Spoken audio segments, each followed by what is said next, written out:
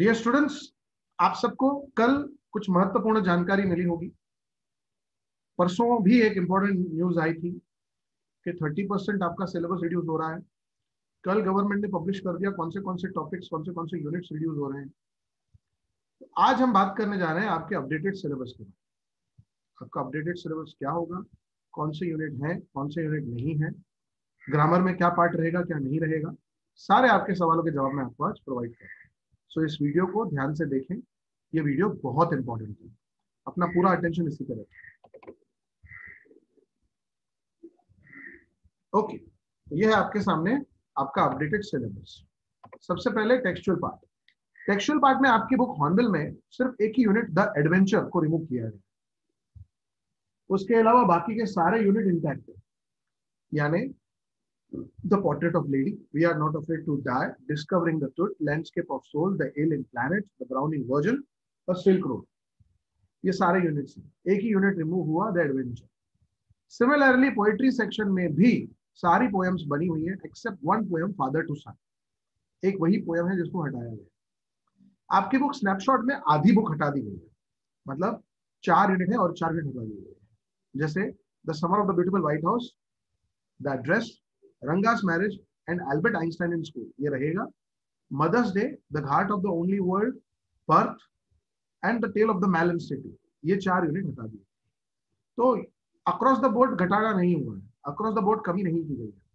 ऑनबिल में जिस, अगर आप ध्यान से देखेंगे तो दो ही यूनिट कम हुए, एक प्रोज एक पोएम स्नैपशॉट में आधा बुक खत्म कर दिया गया, हटा दिया गया। ओके चलिए अब बढ़ते हैं यहाँ से हम ग्रामर की तरफ़। Grammar and writing skills grammar में कौन से टॉपिक्स रहेंगे और कौन से टॉपिक हटा दिए गए? मेजोरिटी टॉपिक्स रिटेन किए गए हैं, सिर्फ़ दो टॉपिक हैं जो हटाए गए हैं। जो टॉपिक आपके सिलेबस में बने रहेंगे वो हैं idioms and phrases rectification of errors reported speech transformation interrogative assertive exclamatory affirmative negative degrees of comparison change the voice active to passive and passive to active both question tag use to and remove क्या हट गया? जो कई सारे बच्चों को tension देता है that is transformation simple compound complex हाँ आप में से कई बच्चों को बहुत खुशी महसूस हो रही होगी कि जान छूटी। But transformation simple compound complex remove हुआ, लेकिन याद रहे, ये सिर्फ़ और सिर्फ़ इसी साल के लिए है बेटा। नेक्स्ट ईयर तो आपको वो सीखना ही पड़ेगा।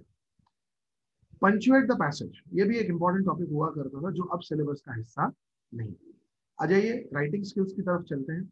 राइटिंग स्किल्स में जो टॉपिक रहे हैं, वो है data analysis note making, email writing, formal and informal both, advertisement writing, report writing, job application, essay writing and speech writing.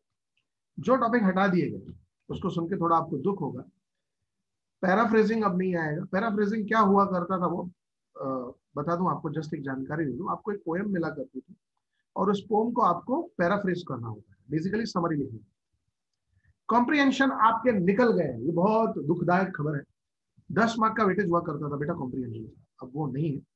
दोनों साइड से हटा दिया गया है कि नहीं, मुझे नहीं पता बट पाँच मार्क का कॉम्प्रीहेंशन तो आपका गया ही गया दस प्रोज वाला हटेगा कि नहीं हटेगा I don't know notice writing हटा दिया गया तो ये आपका अपडेटेड सिलेबस कुछ की पॉइंट्स हैं जो मुझे आपसे डिस्कस करनी है, वो देखिए पहला की point the modification of syllabus will be applicable for this year only that is 2021 next year जब आप बोर्ड्स देंगे तो आपको फुल सिलेबस ही देना है। उसमें कोई कमी नहीं होगी, चाहे वो टेक्स्ट हो, चाहे ग्रामर दूसरा all the units of poetry section are part of the syllabus except the poem father to son सारे हिस्से हैं, सिर्फ़ और सिर्फ़ पोएम फादर टू सन नहीं है।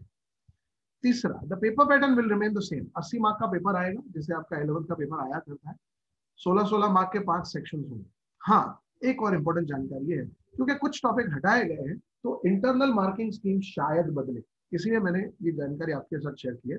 The internal marking scheme of a section may be updated as per requirement जैसे grammar का सेक्शन है वो 16 मार्क का अब उसमें से से फॉर एग्जांपल हमने सिंपल कंपाउंड कॉम्प्लेक्स निकाल दिया। तो ऐसा भी हो सकता है कि टॉपिक्स का वेटेज ही बदल दिया जाए।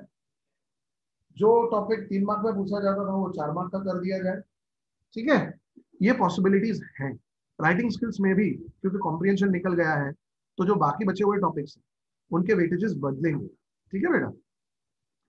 लेकिन उस पर्टिकुलर सेक्शन का, जैसे सेक्शन डी तो 16 मार्क सेक्शन ई तो 16 मार्क वो नहीं बदलने वाले ठीक है बेटा? तो ये थी आपके इलेवन स्टैंडर्ड के अपडेटेड सिलेबस की जानकारी।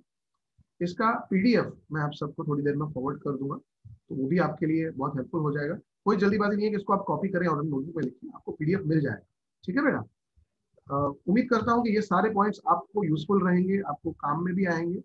और आपको जो डाउट्स थे, जो क्वेरीज थे कि भाई बोर्ड का पेपर पैटर्न बदल रहा है या क्या है, कौन सा टॉपिक रहेगा, कौन सा टॉपिक नहीं रहेगा तो पिछले कल के दिन में कई सारे मैसेजेस सर्कुलेट हुए जिसमें सिर्फ़ टेक्स्ट के यूनिट घटा के भेज दिए गए।